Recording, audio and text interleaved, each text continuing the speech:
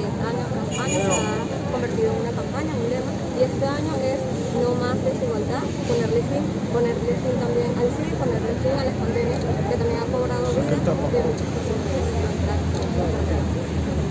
Sí, ciertamente cada año eh, el programa conjunto de las Naciones Unidas para el VIH-Sida o SIDA pone un, lema para justamente concientizar a la población a nivel mundial sobre diferentes problemas. Este año, como tú bien has dicho, es justamente poner fin a las desigualdades, poner fin al SIDA, poner fin a la pandemia. Eh, se ha visto con la situación actual de la COVID a nivel mundial como lamentablemente ha habido desigualdades a nivel mundial, incluso con, el acceso a las vacunas, sobre todo entre países, digamos, con más recursos, entre los países que tienen menos recursos. Pero también hemos visto algo que se ha vivido con las personas con VIH. Vimos en los primeros casos de COVID mucha gente era discriminada.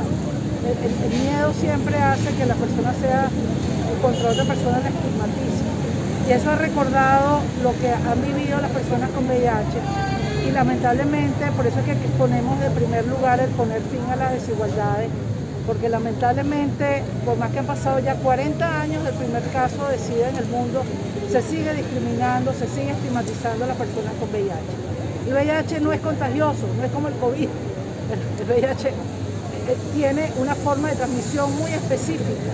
Entonces no tiene sentido estar discriminando a las personas. Las personas con VIH son igual a cualquiera de nosotros, que también todos estamos en, riesgo. Y entonces es algo justamente que se quiere enfatizar. En esta jornada que está, que está hoy aquí, que estamos acompañando a la Defensoría del Pueblo, al defensor, al doctor Ruiz, es, para hacer énfasis en un día, pero yo quisiera resaltar que nosotros tenemos ya varios años trabajando con la Defensoría y hemos este, últimamente en este año incrementado nuestro apoyo justamente capacitando a todos los funcionarios de diferentes eh, instituciones, eh, sobre todo del Estado,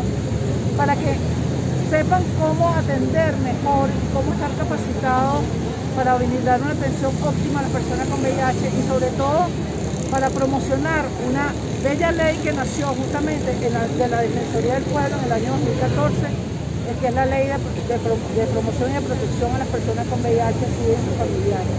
Tenemos que seguir insistiendo en que la gente conozca esas leyes, que, que se conozcan los derechos de las personas con que todos los funcionarios públicos y privados traten con dignidad y respeto a cualquier persona que tenga VIH. Gracias. ¿Su nombre y apellido?